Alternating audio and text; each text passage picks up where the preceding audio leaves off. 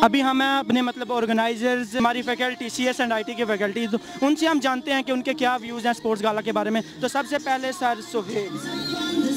بہت اچھا اور ویل آرگنائزڈ اور ڈسپلنڈ اسٹوڈنٹ بیہیو کر رہے ہیں اور اچھے طریقے سے مینیج کیا گیا ہے۔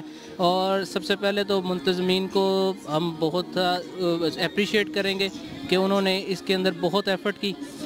ان کی ایفرٹس کے بغیر آج اتنا سکسیزفل ایونٹ جو ہے وہ آج ممکن نہیں تھا۔ Thank you sir thank you sir ابھی ہم سر عمیر سے آئی تھنک سر عمیر سے بات کرتے ہیں۔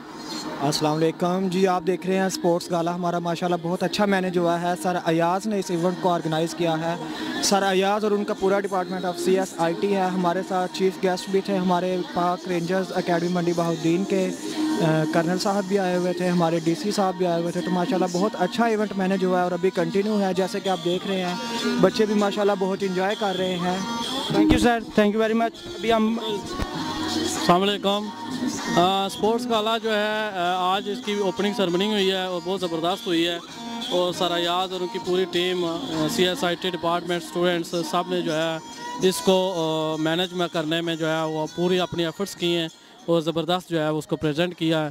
ہم صاحب نے جو ہے ان کو مبارکباد ہے تھینک یو پاس ہے یہاں پر سر شبان سر شبان سے پوچھتے ہیں کہ وہ کیسا فیل کر رہے ہیں۔ فرسٹ ٹائم یہ ہمارا سپورٹس گالا اٹینڈ کر رہے ہیں تو دیکھتے ہیں کہ ان کے کیا ویوز ہیں۔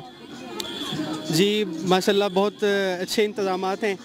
اور credit goes to mister Ayaz Chaudhry and C S and I T department کی ساری ٹیم ان کی دن رات کی محنت ہے دو مہینے۔ اور آج یہاں پہ سارا انوائرمنٹ دیکھ کے تو وہ آفس میں لیٹ سٹنگز اور لیٹ نائٹ سٹنگز اور اسٹیڈیم کے وزٹس وہ اس وقت بڑا برڈن فیل ہوتے تھے۔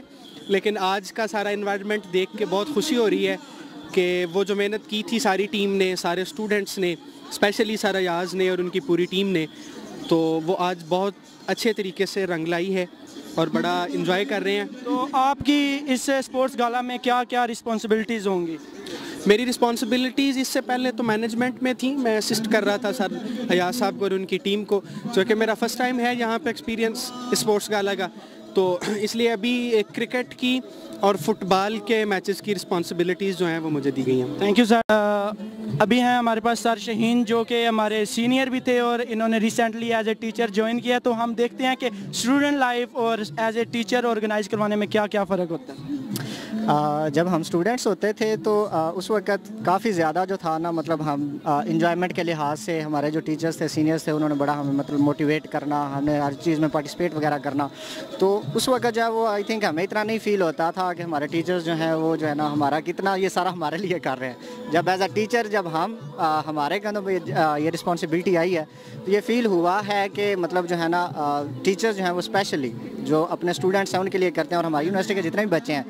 آئی تھنک ابھی ریسنٹلی مین کیمپس میں ہوا اسپورٹس گالا تو وہاں پہ جتنے بھی ہمارے دوست وغیرہ ہیں ان سے پوچھا گیا تو اس سے کہیں زیادہ بہتر جو تھا نا وہ مطلب ہم آرگنائز کرتے ہیں اور میرے خیال میں اس طرح کی ایکٹیویٹی میں نے نہیں اپنی زندگی میں اپنے اسپورٹس گالا کے علاوہ کوئی بھی کی تو اسی طرح جو ہے وہ سارے بچوں کے بھی آئی تھنک یہی ریویوز وغیرہ ہوں تھینک یو سر